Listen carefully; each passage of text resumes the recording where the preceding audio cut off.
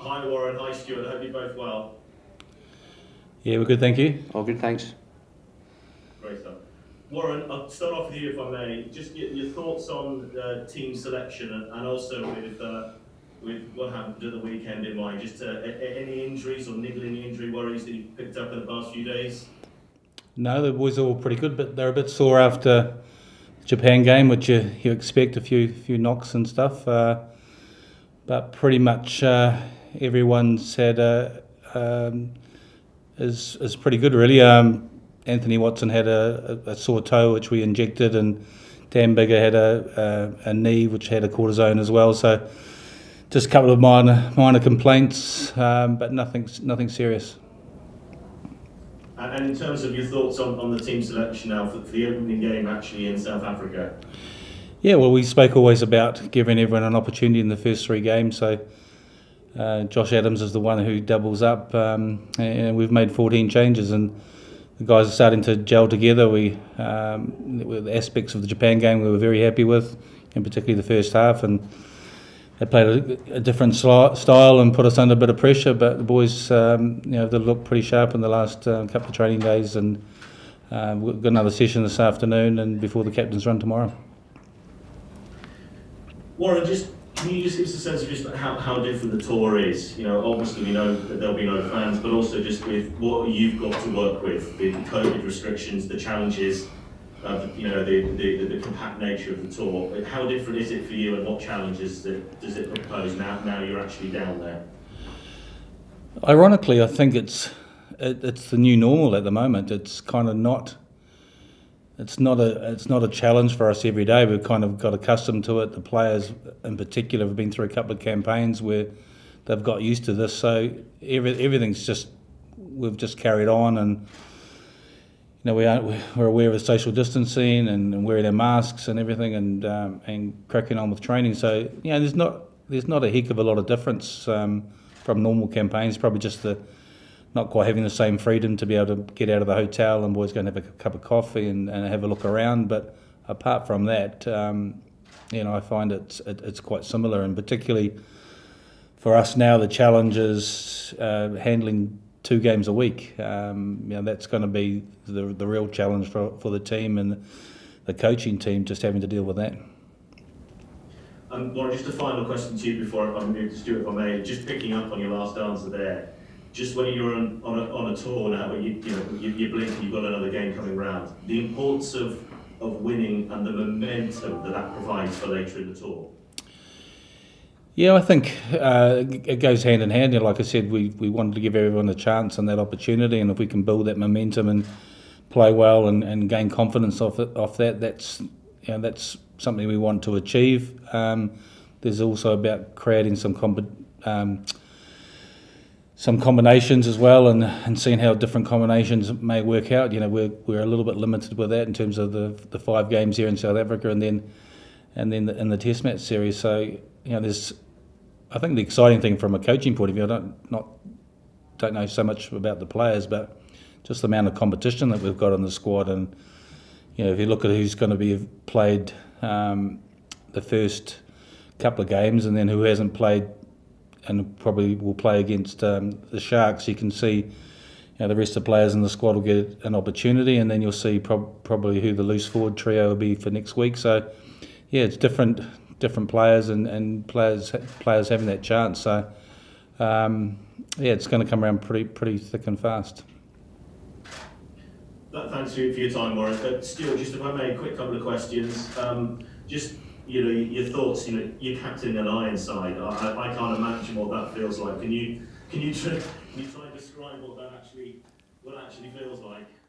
Um, for me, it's a, it's a huge, huge honour. I think, uh, you know, as a kid growing up, you watched all the different Lions DVDs and videos and, and you know, I had the dream of, of representing them one day, but to be given the opportunity to captain this side is, um, is absolutely amazing. Uh, I'm, I'm over the moon. I'm, uh, delighted with it with the opportunity. Um, you know, a huge amount of confidence. Uh, you know, putting me to, to lead this lead this side, but for me it becomes a lot easier when you've got a lot of experience within the squad as well. So um, I'm hugely excited for the challenge. Um, Stuart, just Warren earlier just gave a, an answer about you know, the, the new normal that, that is COVID, but as the players, it, it, it, it can be slightly different. Um, can I ask maybe sort of what you guys are doing to try and sort of stave off boredom? Because um, it is going to be a very, very different tour. As you said, your, your freedoms are slightly restricted. Um, how does that impact on you as players and maybe what are you coming up with to try and make sure you can switch off and you, and you don't get you don't get cabin fever? Yeah, I think look, there's a, a lot of experience within the squad. We've had, you know, Autumn Nations Cup last year, the Six Nations just gone, um, and you know what works best for, for individuals and for, for us as a team. So, you know, there's entertainment committee, there's there's everybody, there's um, you know a huge amount of uh, things for us to be doing within the hotel. Obviously, it would be ideal if we could get out, as as, as Warren touched on earlier, to to explore. But look, um, we're very fortunate. We we get to do our job. We get to continue to represent the Lions, um, and we'll do everything we possibly can to make sure we we continue this journey. Um, but yeah, look, there, there's a, there's a lot of things that we can we can do within the hotel that boys are enjoying each other's company, um, and we're having a lot of fun on and off the training field, um, and hopefully that'll come out in the way that we want to play this weekend. Stuart Warren, thank you both for your time, much appreciated. Thank you. Thank you.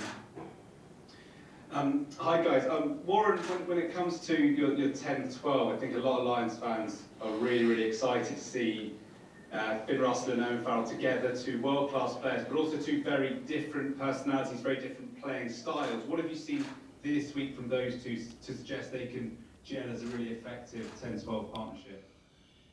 Yeah, just uh, you know they've they've worked really well together, and uh, just alluding to what Stuart said, I mean that you know, Owen's had a huge amount of experience as um, third tour and you know, captain of England as well, so he's adding a lot to the environment. And then and then Finn, you know, has a slightly different way of playing, but I think he's you know, matured amazingly in the, in the last few years in terms of his game management and the way he controls the game. Is we know what flair he has from an attacking perspective, but also it's just those little deft um, kicks, as, uh, attacking kicks that um, you know he's able to bring to his game, and I thought I thought against France um, the way that he managed that game and his kicking game control was was outstanding. So yeah, it's, it's pretty exciting um, to have a look at, at that that combination. Um, we do want to have a look at Owen at ten at some stage as well, and give him a, an opportunity there because that's where he's been picked. Um, but we know that he's equally comfortable in, in the 12 position.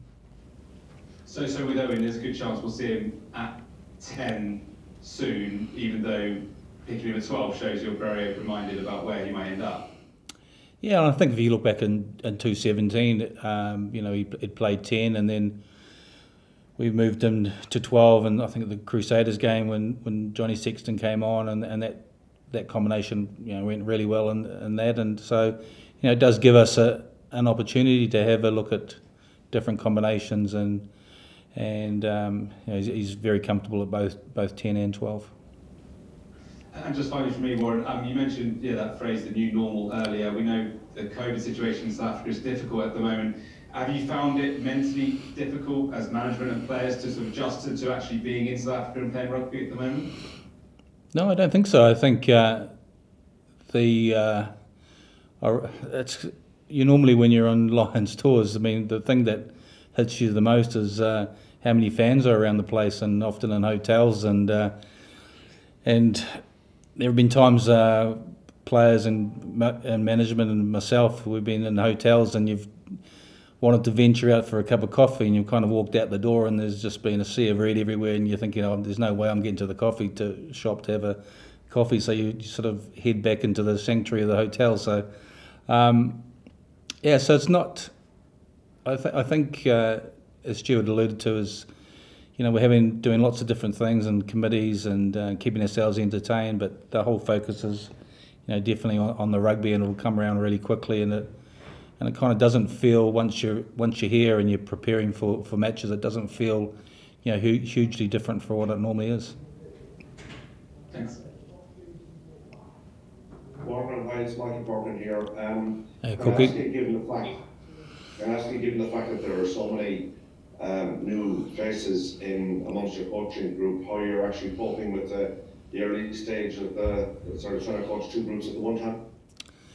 Yeah, we really haven't. Uh, that's going to happen sort of this weekend. Uh, So we've got a captain's run tomorrow, and then we'll we'll let the, the, the starting 15 go, and then we'll work with the the other 20, 22 players um, just to do some runs through stuff to get themselves ready for next Wednesday. Um, and then on, on Saturday morning, we'll the non 23 will do some skills and some conditioning as well. So that that'll sort of start happening this weekend when we start looking at preparing two two sides a week. Um, you know, from tomorrow onwards. Um, and and you know, I can say the the coaching team have been fantastic, and um, um, I think we've we've worked really well together.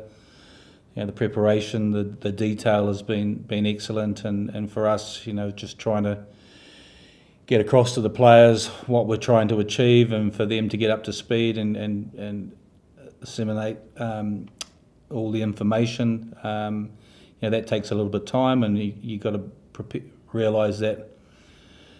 Uh, there will be some errors and some mistakes, and uh, for us is to, to keep working hard at that and being accurate and, and communicate well so that when we get to that test series, we're, we're really uh, right on top of things.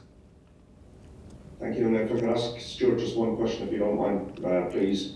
Stuart, can I congratulate you on, on the captaincy? You must be looking forward to starting in the 15 shirt again, but I know you're a man who likes to kick um, the rugby ball around the place. Can you just talk about the difference from playing at normal level to uh, altitude and how, how far back you've had to bring the kicking in the last couple of days?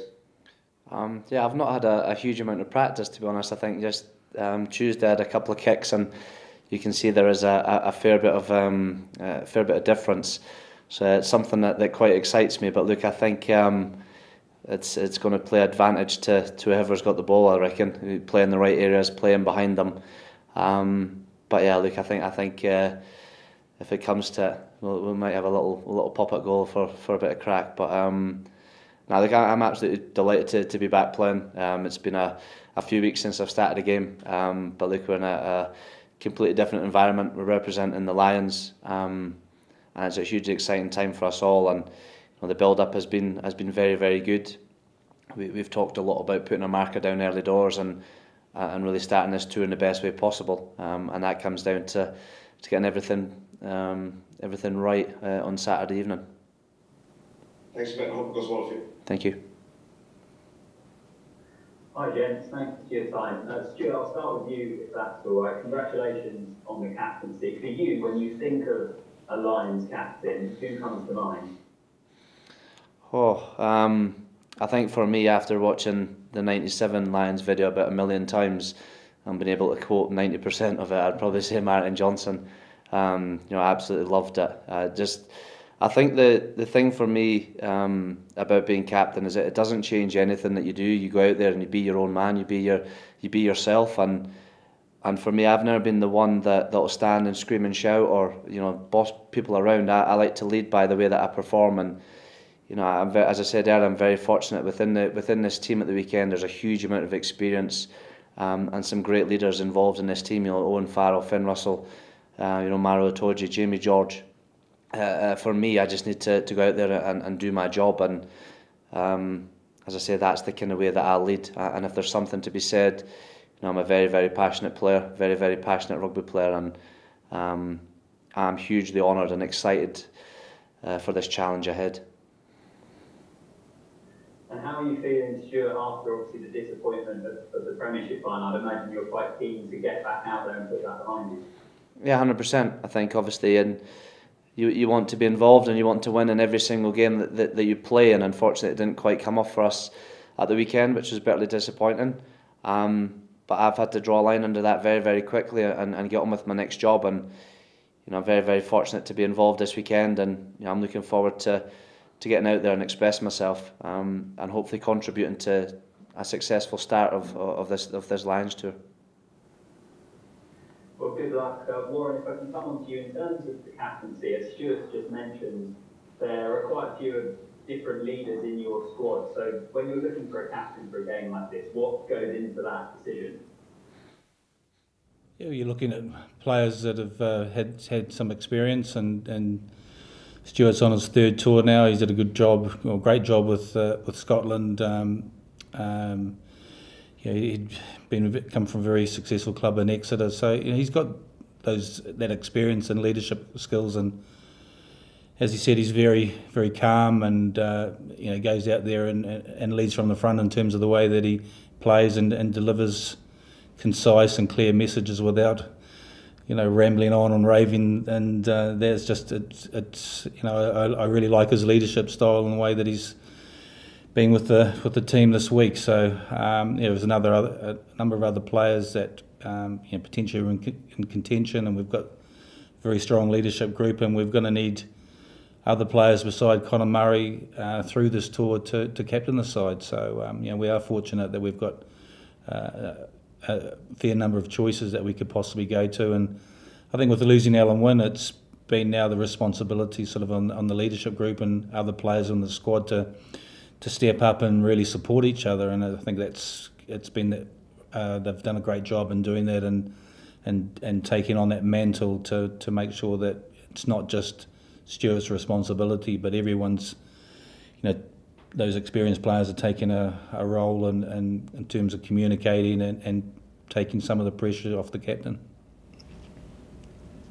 And as for your opponents this weekend, the Lions, what do you expect from them? They've lost four or five in the Rainbow Cup.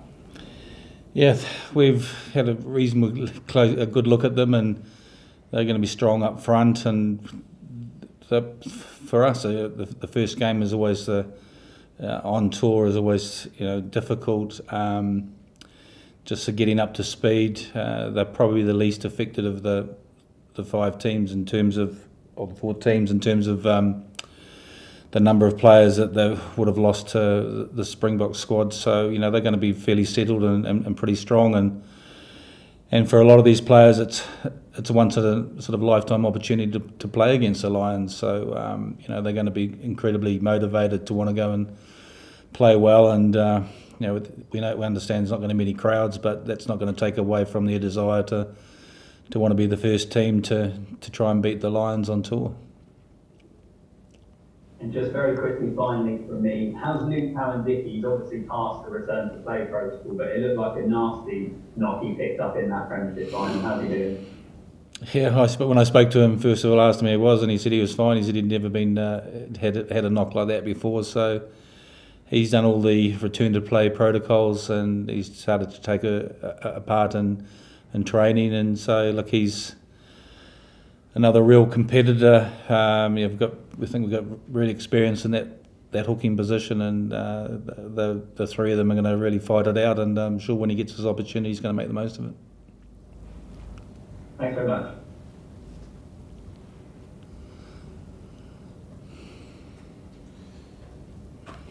Beth? Warren, sorry, uh, Beth here from ITV Wales. Hope, hope you're well. And um, listen, the, the, the, good thing and the amazing thing about the Lions is, is the mix of all the home countries. They all bring with them different values and emotions. I'm just wondering, how pleased are you with the mix both on and off the pitch? Oh, very pleased. It's uh, it's it's been outstanding so far. I mean, the boys have been great, and it's been, uh, from our point of view, uh, above expectation in terms of how well that they've gelled as a group. Um, players, you know, there's, there's no cliques. Players are, are sitting with different and different with different teammates from different countries, and you, you've seen that happen really, really quickly. And so that's a really pleasing sign that you know we, we feel like we've picked a group of men that'll go out there. They want to represent the Lions and um, perform at their, at their best, but also to play um, you know, for, for each other and, and support each other and go into battle with each other um, to do their utmost to, to hopefully win a, a Lions series. Obviously, I'm from Wales, so a question on, on the Welsh selection. Obviously, Louis Rees-Zammit is the poster boy, he's the, the mascot keeper. How, how's he looking? Yeah, he's been doing well. He's still there's still lots of things of his game as, as a very young player that we're working hard in, in, in terms of um, you know, he's, a, he's been a bit, bit like a sponge at the moment, sort of picking things up from the players, and the players are working with him and, and talking to him and giving him lots of encouragement. We know how exciting he is on attack, um, but it's not just about attack; it's about lots of other things and at international rugby and, and at the highest level. And you know, he is working hard to, to, on those aspects of his game, and hopefully we can get get him some some ball and see that um, that finishing power that he has and prowess that he has and, and show off some of that speed and the ability to score tries. I know you said about selection was very difficult, having to leave some, some names out. Obviously, Kyle and Josh back in now. How, how nice was it for you to make that call and you know and get them back in? Yeah, look, it probably it's not going to be the last calls that we're going to have to make because we know how tough and physical this is going to be. But uh, the guys that have come in, um, Josh Navidi and Adam Beard coming in, and obviously with Kyle coming in, he, look, Kyle's been outstanding in the way that he's he's fitted into the group, and he, you know he was a tourist in 2017. He's, he's trained exceptionally well. He's um, he's really setting some of the, some really high standards at the moment, and, and Josh Navidi and Adam Beard have been great so far. They've, they've fitted in, and so look, it's been it's been reasonably seamless at the moment. So and it's been pleasing for for those guys, and also just the way that the rest of the squad have welcomed them in, and you know and. Um, so that's that's been great. Last question from me. We spoke when you were coaching the Baa-Baas, and you were saying how much you were looking forward to this. Are you enjoying it as much as you said you were going to be? Yeah, I mean the weather's pretty good at the moment, so that's not that's not too bad. It's uh, look, there's always lots of pressure at international rugby at the highest level, and you understand that. And I don't think I'm any different from the players. When game day comes around, I'm as nervous as anything. So um, and the thing about international rugby, the, the, it's either agony or ecstasy. There is nothing in between.